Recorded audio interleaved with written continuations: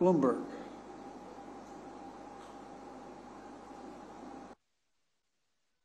Mr. President, following up on your comments on China and the economy, you recently called China's economy a ticking time bomb. Do you believe the country's slowdown could risk destabilizing the global economy or causing China to be more aggressive defensively, Say the first part of your question again, because this fan is going on, it's loud behind me.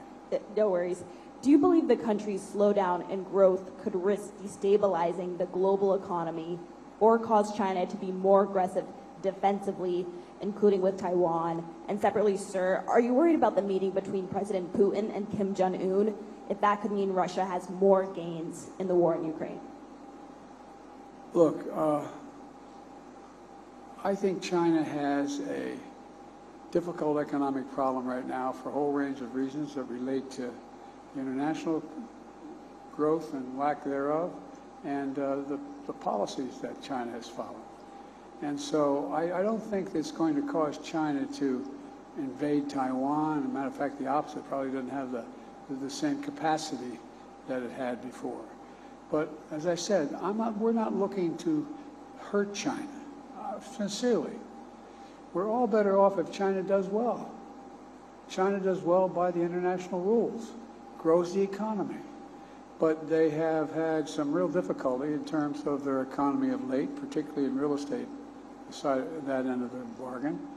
And I think the actions that they're going to have to take are ones that are they're in the process of deciding right now. And I'm not going to predict what, what, what way will come out, but we're not looking to decouple from China.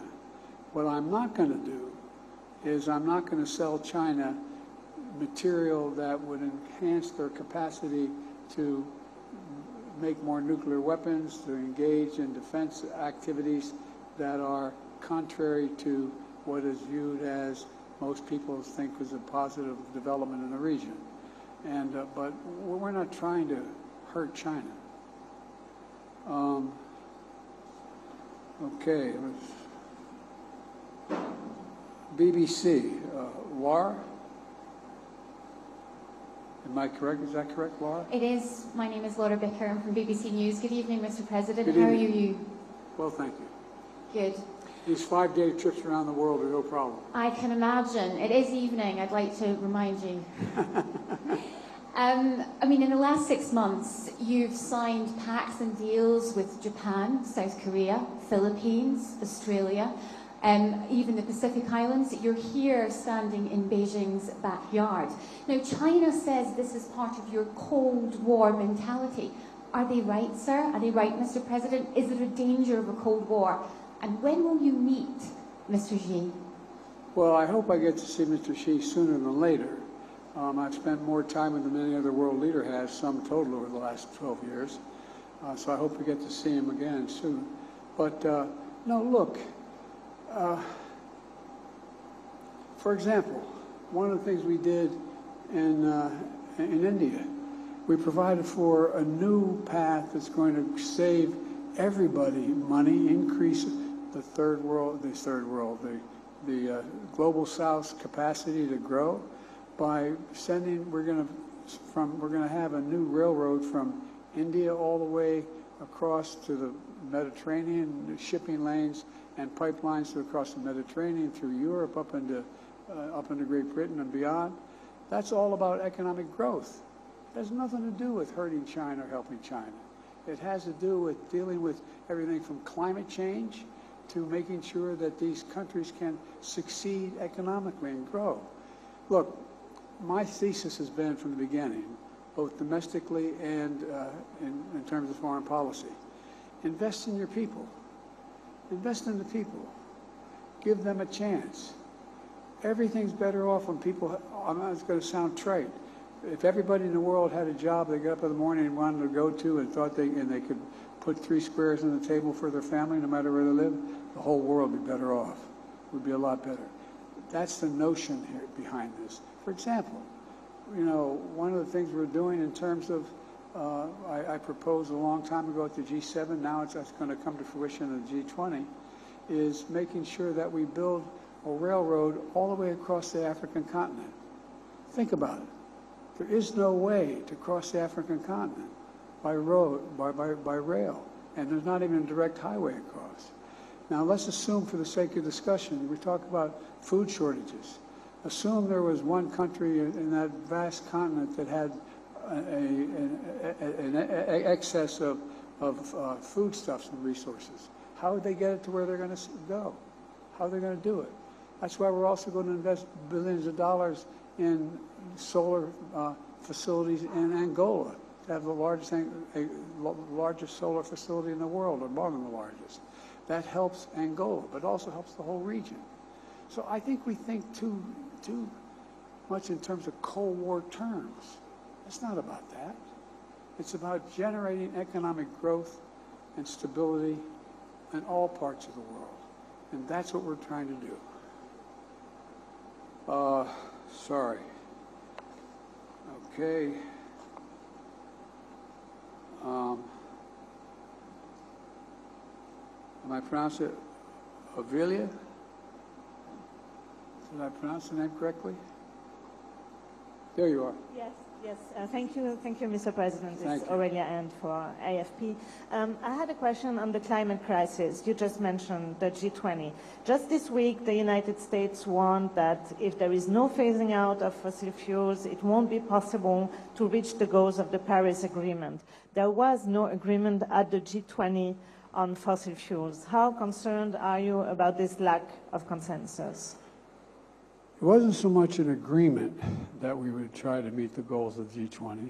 The United States is going to meet those goals, by the way. We're going to exceed those goals. A lot of other countries are as well. But we want to give those countries that don't have the economic wherewithal and did not cause the problem in the first place. For example, I met with Lula in Brazil. I started off way back in the 80s with uh, a, a fine Republican senator named Dick Lugar we said, here's what we're going to do. If you owe us money, we're going to forgive your debt if you maintain your forest because they become carbon sinks. They are the things that take carbon out of the air. And so we're talking to what we should be go, and the countries that cleared their land and put cattle on it and farming and, and did all the things that increased development, they in fact are the ones, the reasons why, the main reason why we've gotten as far down the road to disaster here as we have. And so it seems that if we have the economic capacity, we, those nations, should be getting together and providing help for the nations that don't have the wherewithal to do it. The economic wherewithal and the infrastructure wherewithal. And that's why, for example, I mentioned, uh, in the interest of time, I just mentioned Angola again. Angola has the capacity to generate megawatts of energy through solar energy. They don't have the, the economic means to do that. Isn't it in the interest of the whole world if, if they're in fact able to generate significant capacity to absorb, uh, to prevent carbon from being released in the air? I think it is. So what we're trying to do is help those nations, so particularly in the global south, where they're not as wealthy, where there are not as many opportunities, to be able to deal with the things that they want to deal with. For example, and I'll end with this, there is more carbon absor- absorbed from the atmosphere on a daily basis, and I'll look to my, my friend John Kerry, and forgotten more about this than most people know. Correct me if I get this wrong, John, but I'm quite sure I'm right. And that is that there's more carbon observed from the air into the Amazon region, into the ground, the ground, than admitted in the entire United States on the same basis. Now imagine if people go in and do what we did 150, 200, years- 250 years ago and cut down the forest and start farming in that area. No longer have that great carbon sink. We, you know, it's going to, it it would be a gigantic problem. So we should be going to areas, whether it's in the Congo or other places, as, as the G7 nations and of the wealthy G20 nations, though, and providing the kind of infrastructure they need to be able to benefit. And guess what? In addition to helping the environment overall, and the only existential threat humanity faces, even more frightening than a, than a nuclear war, is global warming going above 1.5 degrees in the next 20, 10 years. We're, it'd be real trouble. There's no way back from that. And so there's a lot we can do in the meantime. For example, that, that uh, um, uh, pipeline, or that uh, railroad we're talking about going across from the mid- from India throughout the Middle East and the, across the Mediterranean and all through Europe, that's going to have hydrogen pipeline there. This is going to significantly reduce the amount of carbon emitted in the air, but it costs a lot of money to put that down. And the world's going to say it's in our interest, collective interest to do it. So I have not, I have not given up at all on the notion that we're going to be able to, uh, you know, uh, how can I say it? Uh, I, I think, I think we can triple the renewable capacity for, uh, as it relates to uh, global warming by the year 20, 2030, 2030. Countries following the IRA playbook, which is the one we passed, clean energy jobs are going to create manufacturing jobs. For example, as a consequence of what we've done, we, we have the we have the most, we have the strongest economy in the world today. Right now, today, the United States of America has the strongest economy in the world. In the world. Now, we've got more to do, but we have the strongest economy in the world. And one of the reasons we're doing it, we changed the mechanism how we deal with this. And that is instead of trickle-down economy, that is if the wealthy and the corporations do very well, everybody's going to do well. Well, the truth of the matter is, I've never bought that theory, but I think the times have changed and a lot of leading economists are beginning to agree with me. Just flat, straight out academic economists. And that is we should build economic growth from the middle out and the bottom up. When that happens, everybody does well. Everybody does well. The wealthy still do very, very well. They have no problem. You can still be a billionaire under that system as well. But you're going to start paying your taxes if I have anything to do with it. That's a different issue. But all kidding aside, so there's, we have, I think the other thing is dawning on people. Many of you are foreign policy experts who've been engaged for a long time. Did you ever think you'd be sitting at a G20 conference where everyone was preoccupied with the notion of global warming? Not a joke. Did you ever think that? And there's a, my, my brother loves having, there's famous lines from movies that he always quotes. You know, and one, one, one of them is there was, there's a movie about John Wayne, he's an Indian scout, and they're trying to get the, I think it was Apache, one, of the great tribes of America back on the reservation.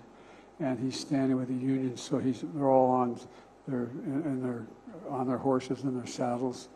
And there's three or four Indians in headdresses and the Union soldiers. The Union soldiers basically saying the Indians, come with me, we'll take care of you, we'll be, everything will be good. And the Indian scout, the Indian looks at John Wayne and points to the Union soldier says, he's a lion, dog-faced pony soldier.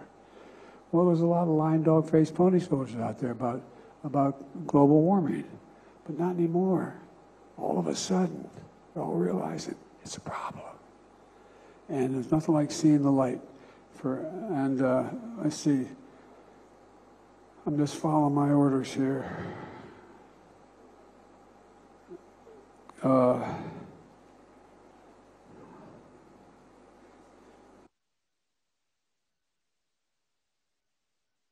Staff, is there anybody haven't spoken? to- No, I ain't calling on you. I'm calling, I said I had five questions. Anita from VOA. Thank you, Mr. President. I hope you didn't think that calling only on women would get you softballs tonight. Oh, I know better than that. Okay, well, let me start with President Xi. If you send me a Um, softball, I wouldn't know what to do. I'd probably strike out even worse. Well, let me ask you about, um, you've, you've spent lots of time talking about all the time you spent with President Xi and the importance of leader-to-leader communication, yet you two haven't spoken in 10 months. And I just wonder, are you worried that this is destabilizing the U.S.-China relationship, and what are you going to do about it? And then, if I may, on Ukraine, sir? Um, Kiev is, ups- is upset that the G20 communique didn't name Russia as the aggressor. Um, have you managed to rally more support or sympathy across the G20, or is this emerging as a wedge issue uh, with the global South? And does that change your commitment to Ukraine? It's not a wedge issue with the global south, it's a wedge issue with Russia, which is present, and with China, which is present, which is, has representation. And uh, so, and by the way, uh, I am, uh, um, my, my team, my staff still meets with President Xi's people and his cabinet in effect. I met with his number two person here in, in uh, excuse me, in uh, um, India uh, today.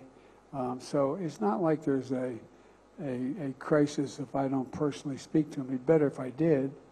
But uh, I think, look, this is not a criticism, it's an observation. He has his hands full right now. He has overwhelming unemployment with his youth.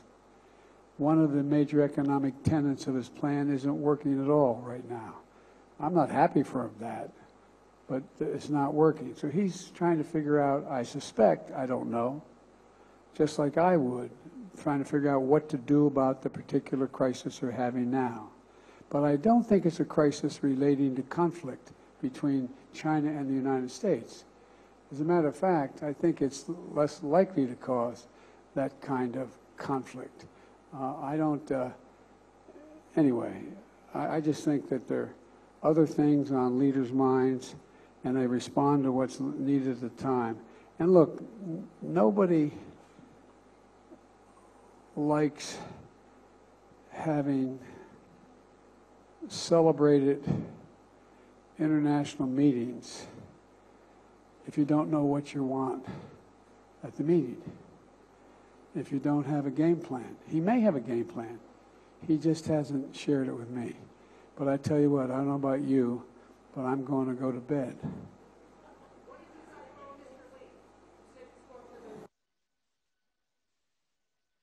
Yeah, we talked, we talked about, we talked about at the conference overall, we talked about stability, we talked about making sure that the third world, the, uh, excuse me, third world, the, uh, the, the, uh, the southern hemisphere had access to change it, had access, we, it wasn't confrontational at all. You came up with Thank, thank you, everybody. This ends the Thank- count, press thank- conference. Thanks, everyone. Thank you. Thank you.